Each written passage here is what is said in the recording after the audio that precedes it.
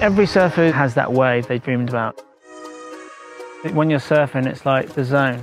You're not here to, to conquer Mother Nature, you know, you're here just to flow with it briefly. No matter how crazy the waves are, that's the moment where you can put all that sort of chatter to one side and you're just focusing, and that mindset is on that one thing. I'm just doing what I love, and if I didn't love it, I wouldn't do it.